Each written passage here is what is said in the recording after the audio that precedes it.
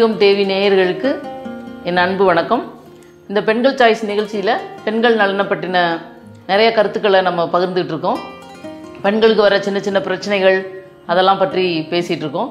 இப்போ இந்த எபிசோடில் பெண்களை காமனாக அஃபெக்ட் பண்ணுற அனீமியா அப்படிங்கிற ரத்த சோகை அதை பற்றி பேசலாம். இது முன்னாடி எபிசோட்லேயே நான் இதை பற்றி கொஞ்சம் டீட்டெயிலாக பேசியிருக்கேன். பட் இருந்தாலும் ஏன் இதை பற்றி நான் திரும்பவும் பேசணும்னு நினைக்கிறேன் அப்படின்னா சரி இந்தியாவில் வந்து எழுபத்தஞ்சு சதவீதத்துக்கும் மேலான பெண்கள் அனீமியால் பாதிக்கப்பட்டிருக்காங்க அப்படின்னு ஸ்டாட்டிஸ்டிக்ஸ் சொல்லுது. இதில் ப்ரெக்னென்ட் விமன் ப்ரெக்னென்ட் விமன் வந்து more then seventy five percent of the women are anaemic அப்படின்னு சொல்லுது. ஏன் இந்த ரத்த சோகை ரொம்ப வந்து முக்கியமானதாக கருதப்படுது? அப்படின்னா நான் ரீசெண்டாக இப்போ ஒரு பிளாக் அண்ட் ஒயிட் சினிமா பார்த்தேன். அதில் வர ஹீரோயின் வந்து அனீமியா அப்படிங்கிற நோயை கண்டுபிடிக்கிறாங்க அந்த டாக்டர் ஆக்சுவலாக வந்து அவங்க அந்த பொண்ணோட ஹஸ்பண்ட் வந்து டாக்டர் அந்த படத்தில் அப்படி தான் காமிக்கிறாங்க. டா அந்த டாக்டருக்கு வந்து குழந்தை வேணும்னு ரொம்ப ஆர்வமாக இருக்கார்.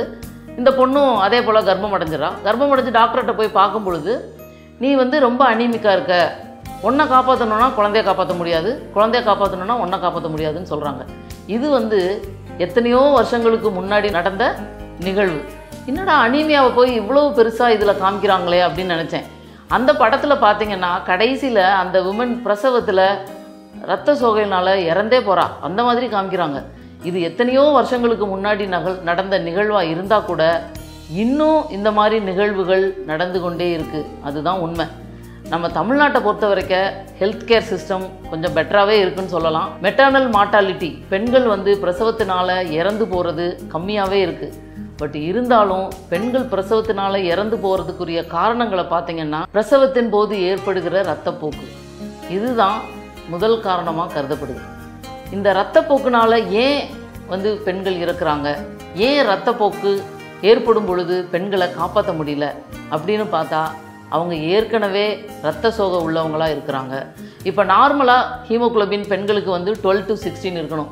ப்ரெக்னென்சியில் கொஞ்சம் பேபிக்கு பிளட் ஃப்ளோ பிளட் சப்ளை பண்ணுறதுக்காக உடம்புல தௌசண்ட் ஃபைவ் ஹண்ட்ரட்லேருந்து ஒரு டூ தௌசண்ட் எம்எல் வரைக்கும் எக்ஸ்ட்ராவாக ஆகுது. இதனால என்ன ஆகுது? கொஞ்சம் டைல்யூஷன் ஆகுது. டைல்யூஷன் ஆகுறதுனால ஹீமோகுளோபின் பதினோரு கிராம் இருந்தால் கூட அது ஓகேன்னு சொல்கிறோம் இப்போ நாங்கள்லாம் வந்து ஓபிடியில் வந்து அஃப்ளியன் சொசைட்டி பீப்புளை தான் பார்க்குறோம் பட் இருந்தாலும் இந்த பீப்புள்கிட்டையும் இந்த பெண்கள்கிட்டையும் நிறைய அனிமையாக காணப்படுது. இதுக்கு என்ன காரணம்? தங்களுடைய உணவுகளில் கவனம் செலுத்தாதது தான் இரும்பு சத்து அதிகம் உள்ள உணவுகளை சாப்பிடாம ஜங்க் ஃபுட் சாப்பிட்றது. நிறைய ஜங்க் ஃபுட்டை சாப்பிட்டு சாப்பிட்டு குண்டாக இருக்காங்களே ஒழிய அவங்களுக்கு தேவையான ஹீமோகுளோபின் இருக்கிறதில்ல. இந்த ஹீமோகுளோபின் எப்படி இம்ப்ரூவ் பண்ணலாம்? மூணு வகையாக பார்க்கலாம். ஒன்று நம்மளுடைய உணவு வகையில் இரும்பு சத்து அதிகம் உள்ளதை நம்ம சேர்த்துக்கணும். இல்லை நம்ம வந்து மருந்து மாத்திரைகள் சாப்பிட்டு அந்த ரத்த சோகையை போக்கிக்கணும். மூணாவதாக என்ன பண்ணலாம் அப்படின்னா சில பேருக்கு வந்து என்னென்ன சாப்பிட்டாலும் மருந்து சாப்பிட்டாலும் ஒத்து வராது. ஃபுட்டு சாப்பிட்டாலும் அது அப்சார்ப் ஆகி ஹீமோகுளோபினை ரைஸ் பண்ணாது. அப்போ அந்த சமயங்களில் என்ன பண்ணலாம்? அப்படின்னா நரம்பு வழியாக இரும்பு சத்தை ஏற்றலாம் இந்த மாதிரி நிறைய டெக்னாலஜி இம்ப்ரூவ் ஆகிருக்கு கடைசியாக என்ன பண்ணலாம்? அப்படின்னா வேறு வழியே இல்லைன்னா ரத்தம் தான் ஏற்ற வேண்டியிருக்கும். இப்போ நிறைய நீங்கள் பார்த்துருப்பீங்க. ரீசெண்டாக கூட பிரசவத்தில் விமனுக்கு ரத்தப்போக்கு ஏற்பட்டு பிளட் டிரான்ஸ்ஃபியூஷன் பண்ணி அந்த விமனுக்கு ஹெச்ஐவி வந்துருச்சு அப்படின்னு. ஏன் ஃபர்ஸ்ட் ஆஃப் ஆல் நம்ம பிளட் ஏற்றுற அளவுக்கு நம்மளுடைய உடம்பை பாதுகாக்காமல் இருக்கும்? ஏன் நம்ம ஹீமோகுளோபினை இம்ப்ரூவ் பண்ணி சரியான விகிதத்தில் ஏன் வச்சுக்கக்கூடாது பன்னெண்டு ஹீமோகுளோபின் பன்னெண்டு கிராம் ஹீமோகுளோபின் இருந்ததுன்னா ப்ளீடிங் ஆகிறத உடம்பு நல்லா தாங்கிக்கும். நீங்கள் வரும்பொழுதே ஒம்பது கிராம் பத்து கிராம் இந்த மாதிரி இருக்கும் பொழுது அது நஞ்சு வெளியாகும் போது வர்ற கொஞ்சமான ப்ளீடிங்கை கூட அந்த விமனால் தாங்க முடியறதில்ல. பல்ஸ் போயிடுது பிபி போயிடுது பேஷண்ட் ரொம்ப சாகிற நிலைமைக்கு போயிடுறா. அவளை காப்பாற்றுறதுக்காக ரத்தம் ஏற்ற வேண்டியிருக்கு. ரத்தம் ஏற்றும் பொழுது இந்த மாதிரி பிரச்சனைகள்லாம் வருது. ரத்தம் ஏற்றணும் ஹீமோகுளோபினை இம்ப்ரூவ் பண்ணிக்கிறோங்கிறது லாஸ்ட்டு ரிசார்ட்டு தான். அதுக்கு முன்னாடி நம்மளுடைய ரெஸ்பான்சிபிலிட்டி என்ன? நம்ம ஏன் ஹீமோகுளோபினை இம்ப்ரூவ் பண்ணக்கூடாது? இதை வந்து ப்ரெக்னென்ட் விமன் அத்தனை பேரும் ப்ரெக்னென்ட் இல்லாத யங் விமன் ஓல்டு விமன் அத்தனை பேரும் யோசிக்க வேண்டியது ரொம்ப ரொம்ப முக்கியம். உணவு வகைகளில் இரும்புச்சத்து அதிகம் உள்ள உணவை எடுத்துக்கோங்க. சில பேருக்கு இரும்பு சத்து அதிகம் உள்ள உணவு சாப்பிடும்போது செரிக்கிறது இல்லை ஃபார் எக்ஸாம்பிள் நாங்கள் முருங்கைக்கீரை அகத்திக்கீரை இல்லை எந்த வகையான கீரைனா கூட பரவாயில்ல. கீரையில் வந்து அதிகமாக இரும்பு சத்து இருக்குது இதை சாப்பிடுங்கன்னு சொல்கிறோம் இதெல்லாம் சாப்பிடும்போது சில பேர் செரிக்கிறது இல்லை எங்களுக்கு ட்ரைரியா போகுது. லூஸ் டூல்ஸ் போகுது அப்படின்னு சொல்கிறாங்க ஸோ அந்த மாதிரி உங்களால் சாப்பிட முடியலையா? அட்லீஸ்ட் டாக்டர் கொடுக்குற இரும்பு சத்து மாத்திரையாவது ஒழுங்காக போடுங்க. இரும்புச்சத்து மாத்திரையை ஒழுங்காக எடுக்கும் பொழுது அதுலேயும் அப்சர்வ் ஆகி ஹீமோகுளோபினை இம்ப்ரூவ் பண்ணுறது கஷ்டமாக இருக்கலாம். ஸோ ஹீமோகுளோபின் இம்ப்ரூவ் ஆகிறதுக்கு இரும்புச்சத்து மாத்திரை சரியான இதில் யூட்டிலைஸ் ஆகிறதுக்கு என்ன பண்ணணும் அப்படின்னா இரும்புச்சத்து மாத்திரையை வெறும் வயிற்றில் சாப்பிடணும். அது ரொம்ப ரொம்ப முக்கியம்.